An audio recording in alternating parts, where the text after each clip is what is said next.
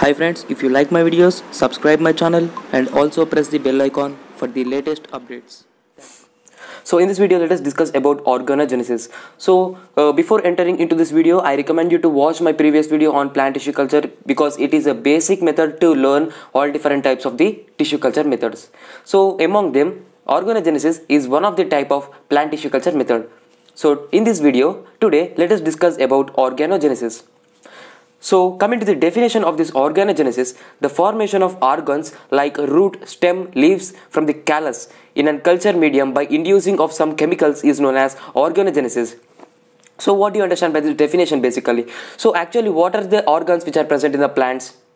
Like if you take root, stem, leaves, fruits, flowers all of this comes under the parts of an organ comes under the classification of the organs right? So the formation or the development of organs like root stem leaves from the callus.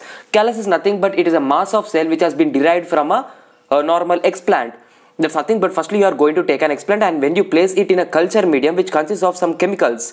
Culture medium is nothing but uh, which consists of amino acids vitamins you know plant growth hormones like this many uh, type of nitrogenous waste uh, all of this will be present in this culture medium which plays a major role and gives nutrition to that explant to get developed into the callus so finally there will be a formation of callus and from that callus the formation of organs will occur.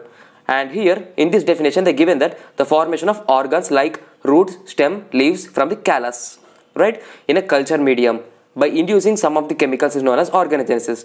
I hope you didn't understand this definition properly but if I explain you the total procedure in a diagrammatic expression then you can easily understand. So uh, let us discuss this diagrammatic expression of this organogenesis. So before entering into the diagrammatic expression firstly you have to know about the cytokinins I mean the which is a plant growth regulators. We know that there are three type of plant growth regulators right? Auxins cytokinins and gibberellins or else it is also called as gibberellins so these three plant growth regulators plays different roles among them, auxins as well as the cytokinins plays a major and vital role in this organogenesis process. So actually let us you have you have to know what is meant by the cytokinins and actually what is the cytokinins. Normally the cytokinins will be inactive in form. So what we have to do to get to make the cytokinins to be inactive in form? We can do that. It should get reacted with one of the plant growth regulator like auxin. And once the cytokinin will get reacted with another auxin or as another plant growth hormone, then immediately it will get into it will get converted into the active form. From the inactive form to the active form. Once it is get converted into the active form then it can exhibit its property. I mean it exhibits its function. So what is the main function of the cytokinins the main function of the cytokinesis is to exhibit cytokinesis process. So what is meant by cytokinesis? Cytokinesis is nothing but the cell division. Cell division is, uh, if, for example, you are you are taking an explant and you are making uh, you are taking that explant and you are culturing it in a culture medium, and we know that the culture medium consists of these cytokinins. I mean, these plant growth regulators, and that explant will absorb all of the nutrients i mean the cytokinins which are present in the nutrient medium and then it undergoes division once it undergoes division then it forms the callus so you can understand this process when you see the previous video of the plant tissue culture. And here, here also I am going to explain you properly in the diagrammatic expression. So wait for it. So now coming to this organogenesis, this organogenesis can occur in two stages. The first stage is uh, you know it, it, occurs in two stages. Either it undergoes caulogenesis or else either it undergoes rhizogenesis. Either both of these any one of the process will occur during the stage of this organogenesis so what is meant by this caulogenesis? Caulogenesis is nothing but the shoot initiation. So you have to know what is meant by shoot and what is meant by root. I am going to explain you in the procedure. And another one is the rhizogenesis. The rhizogenesis is nothing but the root initiation. Okay. So normally auxin as well as the cytokinin plays a major role in this organogenesis. We know that when the concentration of auxin is low when compared to that, when compared to that of cytokinins, then the shoot initiation occurs. And when the auxin concentration is high, when compared to that of cytokinin, then the root initiation occurs. And once the both auxin as well as the cytokinin concentration is equal, then it undergoes the cytokinesis process. So cytokinesis is nothing but the cell division which I have said you before in this, right? So now let us see the diagrammatic procedure of this organogenesis culture. So in any type of plant tissue culture method, the first step which you have to perform is that selection of the mother plant. So this will be your mother plant. So make sure the selection of that mother plant should be matured. I mean, it should get completely developed, well developed. So what is meant by this well developed?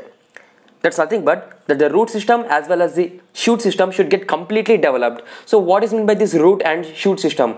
root system is nothing but which is present the region which is present below the soil comes under the root system and the organs or as the region which is present above the soil is called as a shoot system so what are the organs which comes under the root system the roots right? And coming to the shoot system what are the organs which are uh, present in the shoot? Like if you take meristem you know stem uh, leaves fruits flowers all of this comes under the shoot system. So in this way you have to select a mother plant. It's okay it's fine now. So now you have to cut a part of a mother plant for the for the process of this cultivation. So you can cut meristem anthers pollens or else a leaf. Either of these you can cut any one of the part. Here uh, most of the cases only leaf will get cut out. So here also i am taking the example as a leaf. So here now the leaf uh, from this leaf one part of the leaf should get cutted over so here uh, only one part of the leaf i mean only a single bit of a leaf will get cutted and that cut over part is called as an explant. So what is meant explant? Explant is a part of a mother plant in simple words to say right so you are going to select a mother plant and, and from that mother plant you are going to select a small organ and that organ will be taken as a leaf and from that leaf you are going to cut a small part of the leaf and here that cutted part which has been uh, you know isolated from this leaf is called as an explant. So in simple words to say this explant is nothing but a part of a mother plant right so now we are taken an explant, right? And here we know that this explant consists of the bacteria because it has been extracted from the mother plant it and it is survived in the external environment. We know that in the external environment there is a presence of the harmful bacteria as well as a useful bacteria. So this mother plant will attract the nutrient you know what we say this bacteria so the explant will also consist of the bacteria right so you have to do the surface sterilization for 10 minutes and surface sterilization is a process where this explant where the bacteria which is present on the surface of this explant will get removed by this process so what is the process of the surface sterilization? I already explained in my previous video of plant tissue culture technique. So the link will definitely give in the description box. So go, go through the description box and go through that video so that you can understand what is meant by the surface sterilization. So now after the process of the surface sterilization for the 10 minutes, the bacteria which is present on the explant will get uh, you know removed in such a way that the explant will be free from bacteria. And now what you have to do with this explant? From here the actual process of the organogenesis takes place.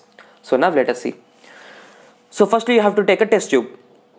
And in the test tube you have to add the nutrient medium. And what what are the nutrients which are present in the nutrient medium also? I explained in my previous video of plant tissue culture technique. You can uh, go through there. So i am recommending you to first watch that video so that you can understand this uh, total video properly and now we are going to take a nutrient medium in this test tube. And now the explant which you have chosen with, with free from bacteria which is free from bacteria should be placed into this nutrient medium. And don't forget students this nutrient medium consists of the plant growth regulators or plant growth hormones which I have said you in the introduction region only. So this introduction part I, what I have said you the cytokinesis process plays a major role by the cytokinins right? So plant growth hormones consist of cytokinins as well as the auxins right so Make sure this nutrient medium consists of the auxins as well as the cytokinins. So you are going to place this explant which is free from bacteria into this culture medium or as a nutrient medium. And make sure immediately within a fraction of seconds you have to close this test tube within a by using a cotton. So why are you are going to close this test tube by using a cotton? Because to prevent the entry of a harmful bacteria into this test tube.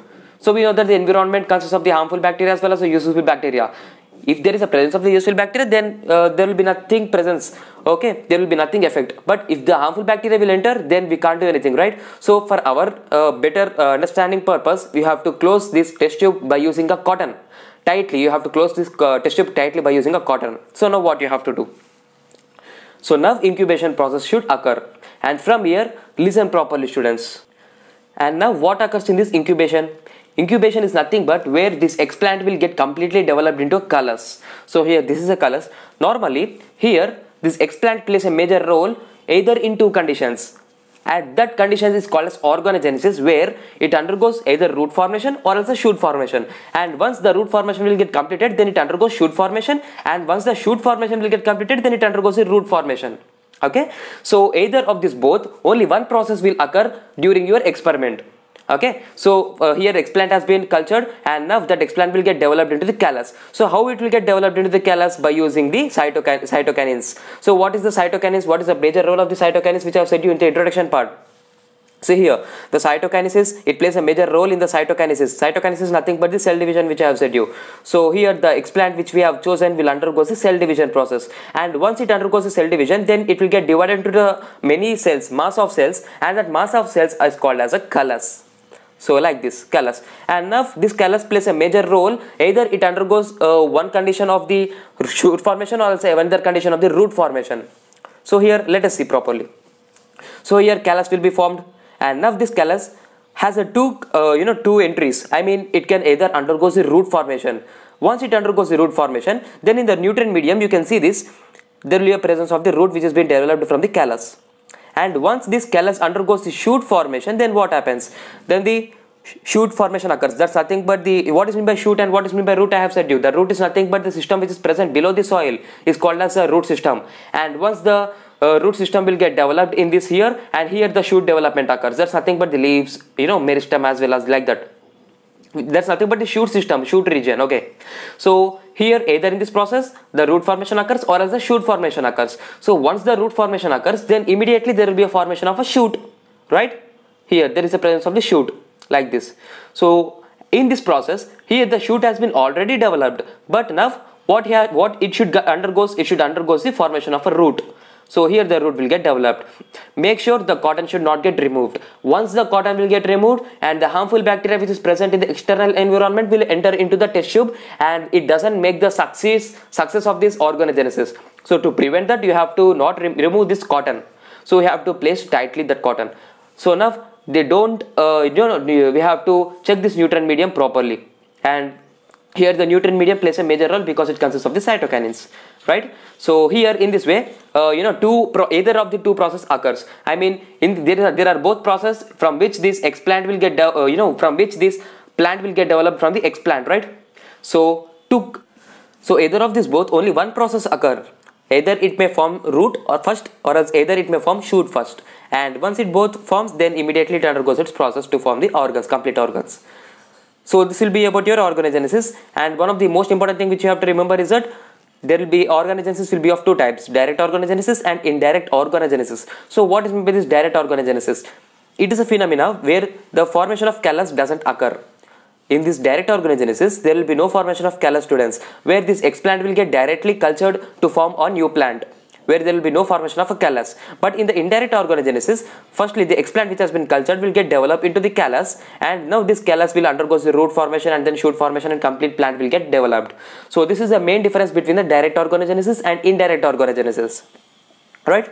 So if you see the definition now you can understand the definition properly. So so if you see here properly what what is organogenesis which i have said you? The formation of organs like root stem leaves from the callus in a culture medium by inducing some of the chemicals is known as organogenesis.